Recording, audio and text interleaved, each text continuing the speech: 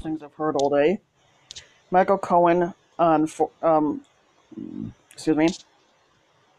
Uh, Michael Cohen um for um basically gave an interview about 45 and he basically said that that 45 doesn't tell the truth which he never does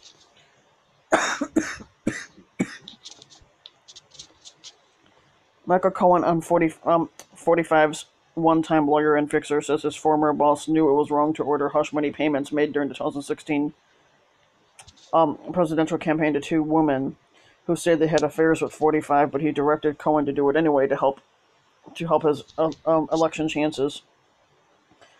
Cohen also said in an interview with ABC News that aired Friday that the that the squatters repeated assertions that Cohen was lying about the payments and other aspects of his work for, for 45 were false. Um, Cohen says he knows the truth. I know the truth. Others know the truth. The man does. The um, 45 has never told the truth a day in his life, and it is sad that should take responsibility for his dirty deeds. I said, well, you were working for him, so this is your fault.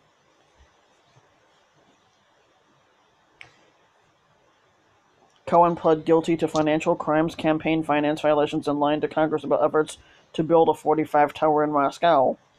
His ABC interview appeared less than 48 hours after the federal judge in Manhattan sentenced him to three years in prison and imposed around $2 million in financial penalties. It appears to be part of an effort by Cohen to rehabilitate his reputation, which is in tatters. He is disparaged by people on both sides of the political spectrum. The legal campaign, the campaign finance violations for which Cohen faces punishment have raised questions about 45's own legal exposure. The violations relate to nearly $300,000 in payments made to two women, which are former Playboy model Karen McDougal and, and former porn star Stormy Daniels, who they say had sexual li- liaisons with 45. 45's own story about the payments has shifted over time. This week he told Faux News that he never directed Cohen to do anything wrong, which technically in this way this would be wrong. 45 claims that whatever he did, he did on his own, which is not true.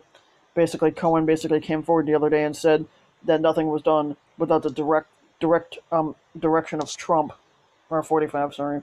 He's a lawyer. A lawyer who represents a client is supposed to do the right thing. That's why you pay them all the money.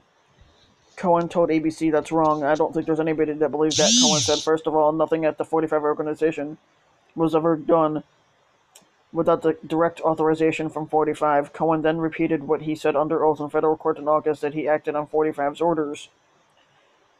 He directed me to make the payments. He directed me to become involved in these matters, including the one with McDougal, um, Cohen said. He asked whether 45 knew the payments were wrong. Cohen said, "Of course he did, but 45 doesn't like to take doesn't like to take the fall."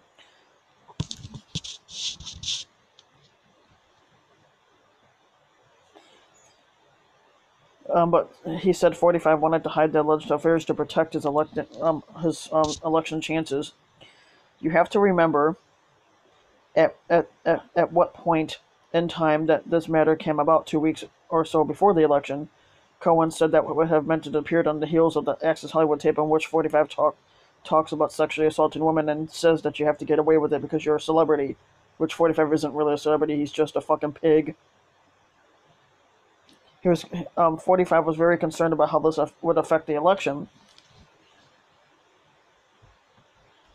Um, after the after um the story broke, 45 went on Twitter and had a tweet storm, or like or or what I should say a shit storm.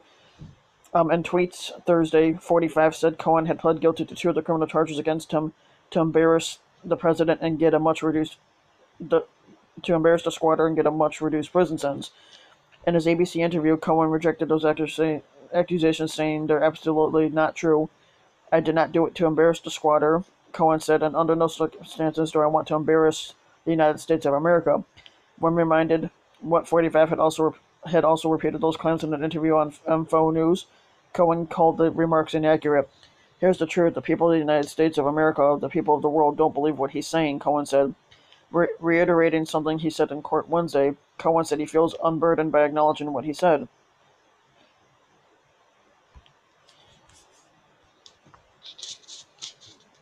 Yep.